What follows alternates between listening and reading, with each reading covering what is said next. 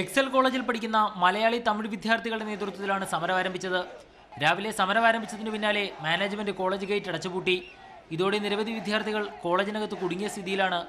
നാമക്കലിലെ Excel കോളേജിലെ ഹോസ്റ്റലിലും അധ്യാപകരും management ഗുണ്ടകളും ചേർന്ന് വിദ്യാർത്ഥികളെ തല്ലിച്ചതയ്ക്കുന്നത് പതിവാണ്. ഹോസ്റ്റലിൽ പൂട്ടിയിട്ട മലയാളി വിദ്യാർത്ഥികൾ രക്ഷപ്പെട്ട് നാട്ടിലെത്തിയതോടെയാണ് പീഡന വിവരം പുറത്തുവന്നത് ഇതോടെ കോളേജിൽ നിന്ന് വിദ്യാർത്ഥികളെ ഫോണിൽ വിളിച്ച് ഭീഷണിപ്പെടുത്തുകയും ചെയ്തിരുന്നു. ഇതിനു പിന്നാലെയാണ് വിദ്യാർത്ഥികൾ ഇപ്പോൾ സമരം ആരംഭിച്ചത് സമരം ചെയ്യുന്ന വിദ്യാർത്ഥികളുടെ കൈയും കാലും തല്ലിയൊടിക്കാൻ ആളെ ഏർപ്പാട് ചെയ്തിട്ടുണ്ടെന്നാണ് മാനേജ്മെന്റ് വിദ്യാർത്ഥികളെ അറിയിച്ചത്.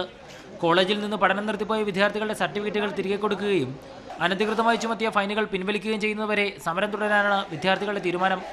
S Shyamkumar Mathrubhumi News Kozhikode.